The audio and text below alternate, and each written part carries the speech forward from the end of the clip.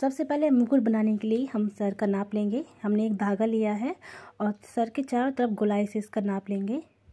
और जितना धागा ये इस गुलाई में आया है, उतना ही हम इसे पेपर में कट करेंगे। ये देखिए, मैंने धागा को नापा हुआ है, सात आया तो हम सात इसमें निशान लगाएँगे, लेकिन थोड़ा सा एक्स्ट्रा रखेंगे। अब आगे के लिए फिर से नाप लेंगे। आगे मतलब जितना पार्ट हमें सामने रहेगा, उसमें डिज़ाइन बनाने के लिए। आगे का अलग से लेंगे। ये देखिए, साढ़े तीन आया है। तो हम इसको पेपर में कट करेंगे। देखिए, हमने सात था तो यहाँ पे हम आठ इंच लेंगे। आठ सेंटीमीटर सॉरी थोड़ा सा ऐसा करेंगे, एक इंच चिपकाने में आएगा। और मिडिल के लिए हम इतना छोड़ते हुए, उसमें साढ़े तीन हम बराबर मिडिल के लिए करेंगे। मिडिल में डिज़ाइन आएगा। जो फ्रंट में सामने से दिखेगा, उसके लिए है। आपको किसी भी साइज़ का मुकुट बनाना इस तरह से धागे से आप उसका नाप ले सकते हैं। ये देखिए मिडिल का है। हम इसमें हम ड्रॉ करेंगे। तो पेपर फोल्ड करके हम हाफ़ साइड से ड्रॉ करेंगे। फिर हाफ़ साइड से कट कर लेंगे। तो दोनों जगह बराबर से इक्वल आ जाएगी। ये देखिए, हमने डिज़ाइन यहाँ से बना लिया है। इसको कट करेंगे। दोनों साइड से हो गया। ये पीछे के लिए डिज़ाइन हमने से बना लिया सेम और सेम ये दोनों डिज़ाइन हम बकरम पेपर में कैनवास पेपर में ड्रॉ करके कट करेंगे। टू पीसीस में। ये देखिए, दोनों टू पीसीस में है। और दोनों ही ये कैनवास पेपर में, इसमें हम फैब्रिक ग्लू या फैब्रिकॉल से अच्छे से चिपका देंगे दोनों को। और ये पेपर डिज़ाइन इसको साइड में करेंगे हम। अब दोनों में हम नेल पेंट लगा देंगे, इससे थोड़ा सा मजबूती आ जाएगी।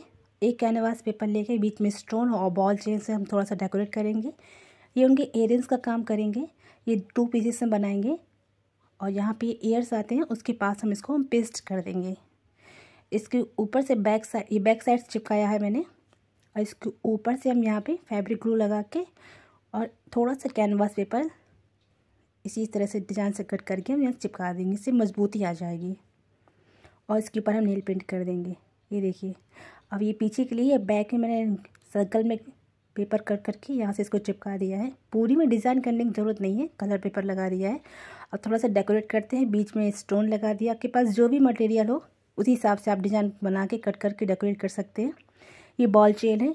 अगर आपके पास बॉल चेन नहीं है तो आप जो सिंपल सी चैन आती है, दस बीस रुपए की, उसको ले करके आप, उसको भी आप यहाँ लगा सकते हैं। ये देखिए। यहाँ पे हमने पर्ल, स्टोन लगाए हैं, इसको भी बॉल चेन से आउटलाइन बना दिए बहुत ही इजी बहुत ही सुंदर है। बहुत जल्दी बन के रेडी हो जाता है। अब साइड साइड के लिए यहाँ भी साइड से हम बॉल चेन लगा देंगे और बीच में ये देखिए सर्कल कलर के हम पर्ल्स लगाएँगे। और साइड्स में थोड़ा थोड़ा हम एक एक सेंटीमीटर छोड़ देंगे।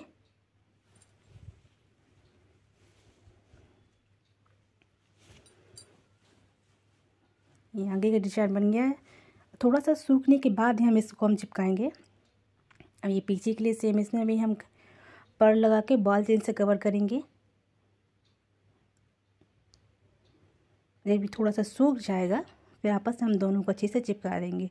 गीले में नहीं चिपकाएँगे, नहीं तो ये मोती निकलने लगेंगे। ये देखिए, और ये इसको हल्का सा फोल्ड करते हुए साइड में हम यहाँ पे ग्लू लगाते हुए इन दोनों के एंड्स को चिपका देंगे। तो ये सर्कल हो गया।